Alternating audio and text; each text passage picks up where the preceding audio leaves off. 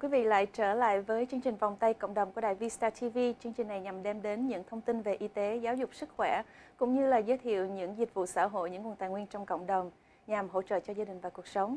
Kính thưa quý vị, trong những chương trình trước thì chúng ta đã tìm hiểu rất là nhiều về bệnh tự kỷ và chúng ta biết là bệnh tự kỷ là một căn bệnh rối loạn về trí não. Thường thì một người bị tự kỷ có những khó khăn về hành vi, về lời nói, về giao tiếp ngôn ngữ. Kính thưa quý vị, hôm nay Nam Yến rất hân hạnh đã mời được một người khách rất là đặc biệt, một người mà lúc nào Nam Yến cũng yêu mến và kính phục. Yêu mến chị vì chị lúc nào cũng chỉ bảo cho Nam Yến trong những công việc. Kính phục vì cái sự nhiệt huyết, cái energy, cái tâm tình của chị đối với các bé bị tự kỷ. Dù có mệt mỏi như thế nào đi chăng nữa thì lúc nào khi mà chị nói chuyện với các bé chị cũng nở một nụ cười trên môi. Nam Yến muốn giới thiệu đến quý vị chị Julie Điệp, chị là speech pathologist và cũng là người sáng lập ra tổ chức OC Autism. Hi À, chị Julie. Oh yeah. À, Julie, uh, kính chào um, khán giả của đài V-Star với chị Nam Yến đã mời Julie tới ngày- lên đài hôm nay. Thank you chị Julie. Em biết là chị Julie rất là bận rộn mà cũng tới đây để chia sẻ với quý vị khán giả của đài Vista TV đó là một cái điều rất là quý. Thank you chị. Ô, cảm ơn chị. Chị Julie thì không để mất thời gian tại vì mình có rất là ít thời gian mà mình có rất là nhiều thông tin em muốn chia sẻ với quý vị thì xin chị có thể cho biết um, một ít về cái OC Autism của chị được không? Cái tổ chức OC Autism. Um, OC Autism là một hội từ thiện, một hội từ thiện mình tạo ra cũng ngày năm 2010 á, thì vào 7 7 8 năm rồi. À, cái hội từ thiện đây là làm cái gì cũng miễn phí cho gia đình hết, hướng dẫn cho gia đình mà có con tự kỷ. Thì mình giúp là nó cái bằng education làm hội thảo cho gia đình, mình làm mỗi, mỗi cái bữa tiệc cho gia đình. Sometimes cái bữa tiệc cũng 500 tới 2.000 người Wow. cũng có.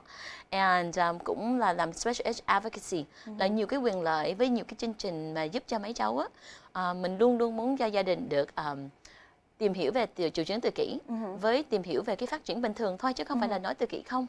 Mình hiểu về tác phát triển bình thường được á thì mới được tìm dụ- dịch vụ cho mấy giúp mấy cháu được Tức là bất cứ gia đình nào mà có con em bị tự kỷ cũng có thể contact với OC Autism phải không ạ? dạ đúng dạ tại OC autism là không phải là chuyên về tự kỷ không mà về phát triển bình thường Phát triển Mình- bé bình thường. Dạ, mình muốn cho mọi gia đình đó tại mình muốn um, mình muốn là phát triển bình thường là cái gì, mình hiểu được mình mới được tìm. Đúng Chứ rồi. đâu phải là mình biết autism là mình gọi hỏi từ thiện liền. Đúng rồi, Phải đúng không? rồi, đúng rồi. Dạ. Vậy thì chị Julie có thể cho em biết với lại quý vị khán thính giả biết là có những cái um, những cái dấu hiệu nào khi mà để cho cha mẹ nhìn vô để biết là con mình có những cái dấu hiệu mà mình cần được quan tâm cái early sign của autism? Dạ, um, nhiều um, mấy cháu mà tự kỷ á, Ừ. sometimes 3 tuổi hay 5 tuổi à, bác sĩ hay giáo viên mới xác nhận nó nó, nó có tự kỷ. Ừ. Hay cha, cha mẹ mới mới chấp nhận. Ừ. À, mấy Cái đó là em quá trễ rồi phải không quá chị? trễ rồi tại mình mình chị, chị khi thì cũng biết là um, nó có một cái chương trình kêu bằng early start early start là giúp giúp cho mấy cháu là mới sanh ra Ừ. tới 3 tuổi Ừ. thì Julie hy vọng đó là gia đình nào mà hiểu phát triển bình thường đó thì mình mới được tìm về, về tìm hiểu về tự kỷ à, nhiều lúc gia đình tới mình đó là họ hỏi là à, bé có tự kỷ không? Thì mình nói đúng không? Từ từ mình nói phải là phát triển được không? À, tự kỷ nó có ba điều kiện một phần á, là chậm phát triển hay chậm nói đó là rõ là dễ, dễ, dễ thấy Ừ, đúng rồi. biểu hiện thứ hai đó là khó tiếp xúc với bạn bè với biểu, biểu, hiện thứ ba đó là à, có cái cái hành vi nào nó làm đi nó làm lại Ừ. nó làm sao nó bị chia phối đó thì nó không có học được Ừ. hay nó không có tập trung được Ừ. thì mình thấy nó nó bị bắt bình thường về về, về mấy cái điều kiện đó Um, giống như hồi lúc nãy chị Julie nói là cái OC Autism có thường tổ chức những cái ờ, sự kiện, những cái lễ Tết thì sắp tới đây á, là cái mùa holiday season thì Yes. OC Autism có những cái sự kiện gì cho các gia đình mà có con em bị tự kỷ? Yeah, uh, for Christmas mấy tụi em làm một cái một một cái event nó cái bằng là breakfast with Santa Oh, wow. là ăn sáng với với ông già Noel. Oh, wow. And thì đó mình mình cũng được có um, 200 à, no, 2.500 người tới. Wow. And then mình cái vé mà của mình nó là miễn phí hết. Ừ. À, luôn luôn mình mình muốn giúp cho gia đình. Mỗi cháu được mỗi gia đình được chụp hình với ông già Noel. Wow. Mỗi cháu được cái quà tặng đặc biệt. Ừ. À, không phải là đứa nhỏ khuyết tật không mà đứa đứa trẻ em mà trong gia đình nữa. Ừ. Thì mình muốn mình thấy là cái autism á, về tự kỷ á, nó ảnh hưởng hết nguyên gia đình.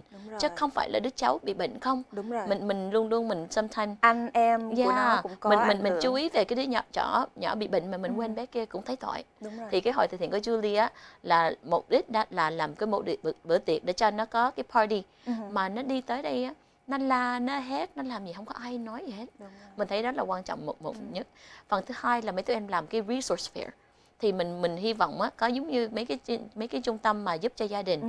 à, để, cũng mình cũng được mời cũng có thể 50 resource fair Ừ. tới để cho gia đình tới tham dự à, mình cũng có nhiều mấy nhạc ca nhạc ca à, năm đây có thể Julie um, có hợp tác với um, cái, cái chị chị Sam from cái Asia Media Group đó okay. thì cái cái cái đài đó đó so mình cũng thấy là it's, uh, she's gonna be helping too um, như năm năm trước mình cũng có hợp tác với mấy mấy bạn trong trong cộng đồng của mình uh-huh. để cho um, làm cái toy drive Mm. So cũng có nhiều người giúp lắm chứ một mình tay của Julie không làm không được. Mình có cái um, cái cái cái suy nghĩ đó mình muốn làm mà luôn luôn phải cần cái cộng đồng mình tới tham dự với với cũng giúp một tay. Đúng rồi. Thì tức là những cái tổ chức khác cùng có chung một cái ý tưởng của chị Julie thì tới giúp nhưng mà cái ý tưởng chính vẫn là của chị Julie tại vì em biết là chị Julie yeah. lúc nào cũng có năng lượng hãy mà nói tới các bé mà có tự kỷ thì chị Julie dẹp hết mọi thứ là chỉ cho lo cho các bé thôi cái yeah, đó là tại em em thương mấy cháu lắm tại một phần á là không phải là Julie muốn giúp gia đình không mà Julie cũng có cái khuyết tật you know Julie là ADHD, dyslexia, mình cũng có nhiều cái hành vi mà nó làm khó cho mình tập trung học hành uh-huh. hồi lúc mình nhỏ uh-huh. tới high school luôn. Uh-huh. Thì Julie học giỏi lắm mà tới bài mình tới học đại học đó mình thấy cái nghề nào mình nghề nghiệp nào mình học giỏi đó uh-huh. thì Julie được bằng master về speech therapy hồi 23 23 tuổi. Uh-huh. So trong cái thời gian mà Julie thấy Julie giúp được gia đình thì Julie thấy nó nó hạnh phúc á uh-huh. thì mình muốn giúp thêm thôi. Mà mấy cháu tự kỷ á là nó dễ thương lắm. Nó muốn nó muốn các bạn nó muốn tiếp xúc với mình nó ừ. muốn nói chuyện với mình mà nó không có cái cách thôi đúng rồi họ thì không mình, biết nó không biết làm sao để mà yeah, có thể giao tiếp yeah, được mình phải kiên kiên nhẫn chút em. để cho mình mới mới mới mới um, có cái relationship với mấy cháu yeah. vậy chị Julie sẵn tiện mình nói đến cái cái mà các em tự kỷ hay khó có những cái khó khăn khi tiếp xúc với bạn bè thì um, cha mẹ cũng thường hay quan tâm là nếu như mà để một cái em tự kỷ nằm uh, vô chung một cái cái cái lớp học mà chung với các em không tự kỷ thì nó có ảnh hưởng tới các bạn khác hay nó có ảnh hưởng tới các em bị tự kỷ hay không? Tại vì Nam Yến biết là bây giờ ở trong cái ngành giáo dục họ cũng rất là chú trọng cái least restricted environment. Yes. thì thì theo như chị Julie thì nó có ảnh hưởng hay không mình thấy đó là chừng nào mấy cháu mà có tự kỷ á uh-huh. thì tùy theo cái cái cái cái nó nặng hay nhẹ uh-huh. đứa cháu nào mà biết cách nói chuyện thì mình luôn luôn mình mình khuyên cho gia đình cho nó vô lớp bình thường uh-huh. cho nó có cái bạn nó cái bằng peer model ừ, you know, có cái mẫu nó, nó tốt hơn uh-huh. cho cháu nói chuyện với với cách biết cách bạn bè chừng nào cháu mình có nhiều cái hành vi mà nó có thể ảnh hưởng cho đứa khác học hành uh-huh. hay nó distraction á uh-huh. hay có thể nó không có ngồi yên được uh-huh. thì luôn luôn mình phải cho vô cái lớp đặc biệt không phải là cái lớp đặc biệt đó là là là là là là, là cho nó học cái hành vi xấu của đứa khác yeah. mà thiệt ra nó có cái giáo viên mà có cái special training uh-huh. nó quan trọng lắm nhiều người Việt Nam của, của mình mình thấy là sợ vô cái lớp đặc biệt nói ô nó học cái cái cái cái cái gì xấu cái gì sai uh-huh. mà Julie nói không phải mình tới đó là ca cái giáo viên với cái cái lớp đó nó nhỏ hơn là có thể là một tới 10 người um, one to 10 ratio one to 15 ratio uh-huh. so nó khác hơn thôi cho lớp bình thường là one to 30 đúng rồi thì giáo viên cô giáo có có sự quan tâm đặc biệt hơn cho cái yes. bé đó à, nếu mà mình so sánh với một cái bé mà trong một cái lớp bình thường thì yeah. một cô giáo dạy tới 30 em thì không có đủ cái sự quan tâm cho các em đặc biệt đó đúng không Dạ, yeah, dạ. Yeah. Mà một phần nữa đó là không phải là cháu mà học trong lớp đặc biệt nó không được vô lớp bình thường uh-huh. mình thấy cái khóa nào nó giỏi á uh-huh. nó cái bằng mainstreaming đúng rồi rồi có thể một phần một thời gian có thể nó nó, nó học lớp đặc biệt mà nó giỏi về toán uh-huh. thì trong cái thời gian toán thì mình cho nó vô lớp bình thường thì anh Julie thấy đó hay à, sometimes mình thấy là gia đình cũng sợ yeah. Dạ. mình thấy con mình tiến bộ mình mình nói ô có thể mình chưa ready uh-huh. mình phải phải cho nó cái câu, câu hỏi cho nó nên nó tiến bộ đúng rồi đúng yeah. Dạ. rồi em em em thấy cái điều đó là đúng Um, vậy thì giống như hồi nãy chị Julie nói là các bé thường đi đến chị là 5 tuổi, 3 tuổi rồi mà chị nói là cái đó cũng hơi muộn khi mà mình bắt đầu mới chuẩn đoán là bé có bị tự kỷ. Thì theo như chị Julie thì khi nào thì mình có thể chuẩn đoán bé được tự kỷ? Khi nào là cái lúc mà sớm nhất mình có thể chuẩn đoán được? Based on research, mấy nhà nghiên cứu á, uh-huh. họ thấy là từ 2 tháng tới 6 tháng là mình đã biết rồi á có thấy được wow. yeah. so mấy tụi em làm trong nghề đó that's why em em cũng chia sẻ với với với chị Nam Yên là cái cái lúc đó mình mình mình mình biết một cháu đứa lớn bị tự kỷ uh-huh. thì cái phần trăm mà đứa thứ hai bị tự kỷ là nó cao lắm thì nhiều lúc cái regional center nó có cái chương trình nó kêu bằng prevention. Uh-huh. thì có thể giúp cho gia đình. Thì nó có người tới nhà để cho làm sao cho bé nó tạo nó phát triển bình thường. Uh-huh. um, sometimes ở trung tâm của Julia cũng làm therapy cho mấy đứa baby. Uh-huh. mấy tháng à cô tới rồi.